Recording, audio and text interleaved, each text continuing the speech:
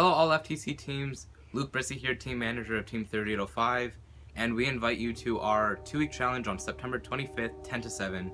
If you don't have a robot, just come here and build. More of a hangout than a scrimmage, but if you have a robot, great. Here's what we have so far.